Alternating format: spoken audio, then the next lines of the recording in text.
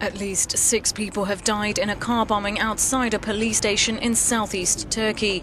Four police officers and two civilians were killed, including a young child. According to authorities, 25 people were wounded.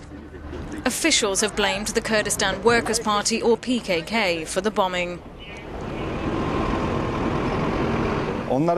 Turkish security forces continue their ground operations and airstrikes against PKK militants. Our people should not worry. Those traitors will pay for what they did. There have been frequent clashes between the PKK and government forces since a ceasefire collapsed last year. Police and military outposts have been targeted in bombings by the militants. At least 12 people were killed in attacks on Turkish forces in the mainly Kurdish southeast in the last week alone.